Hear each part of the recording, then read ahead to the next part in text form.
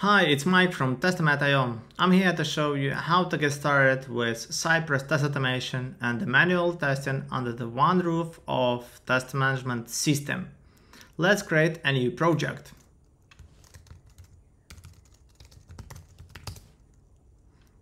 Fine then, so new project is created. So you probably have the test automation already in place and you would like to move it and synchronize to the test management system. Easily it can be done by one command. So you go to your project and imports from source code, then you would need to choose the Cypress and the programming language you are using. So here, so then I just need to copy this line and then just put it here.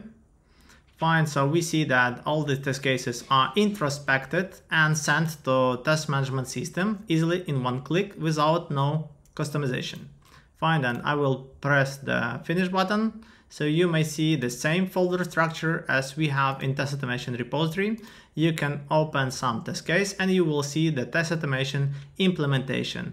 Of course, to this implementation, you can add some screenshots from the buffer if you would like to. So you can de define the, the, descriptions human readable if you would like to in human uh, readable format in markdown editor and so on and so forth. You have the history to track the changes and other features.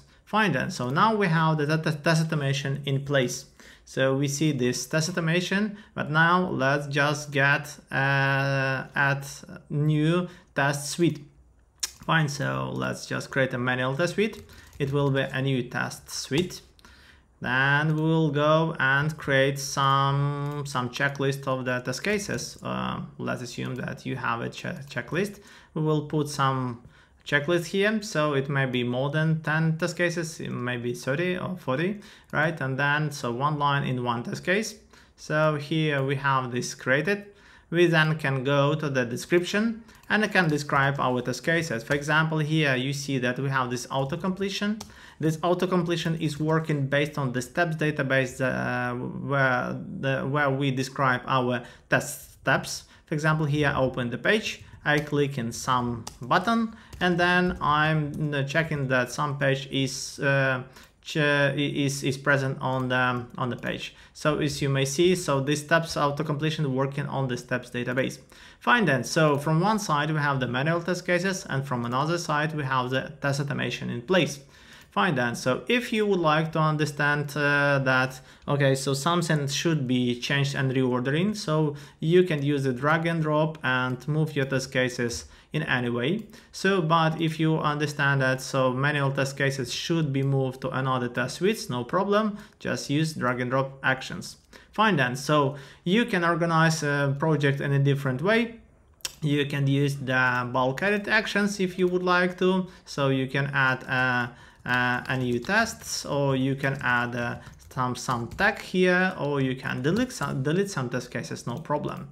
Fine then. So all these actions I applied in one second.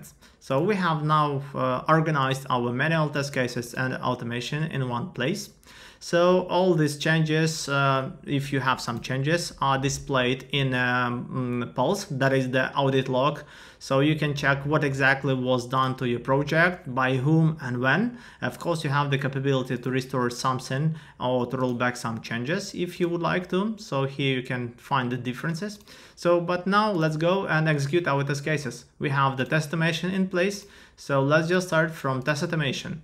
Fine, so we have the for reporter reporter created for Cypress. So you would need to install it on your uh, project. So it's already done on my site. So then you would need to install this uh, uh, reporter on your configuration settings. Once it's done, you can execute your test cases so easily. So like you did before, but with this API key I'm using right now for my project, right? So you will have another unique um, API key. So this test execution has been started. I would we would need to wait a little bit to see the results, right? So we see that something is happening. So uh, no need to wait until the end. So we will go and finish it. We will see, okay, so some test automation execution has been started. So, um, and uh, we would need to wait a little bit so these results will flow to test management system. So uh, we, in effect, we have implemented the real-time reporting. So you don't need to wait until the end. You can open the intermediate results. Here you can see that the stack trace, what exact issues, you, you may see the descriptions, you may see the test code implementation or some attachments if you have. So everything on the one screen. And after this, after this so you can check this and traverse through the through the results. So let's just go and uh, execute our manual test cases. So on the left hand side we have a checklist of our test cases. We should go through. We mark this passed or failed right? So we can define the message why it was failed. So of course we can add some screenshots easily through the buffer through the copy and paste. So no problem. I can mark this passed or failed or skipped by keyboard so, and then we will finish and we have done. So we have our test results. From one side, we can filter what is failed on the manual test execution. You can we can check the the, the results here. So we can uh, check some supplementary files or some um, results, right? So the same way you can do with uh, test automation, right? So you can check it and see what was failed. So, and you have the results.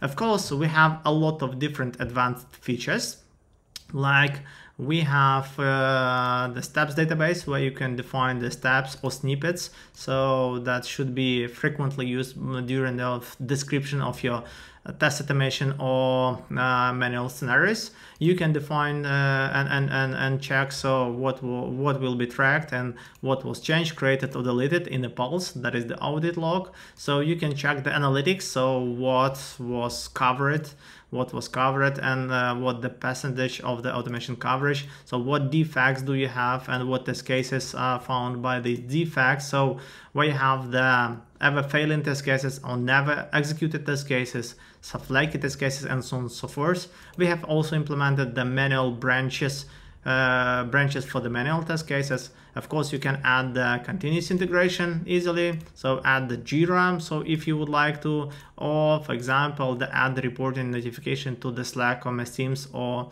email.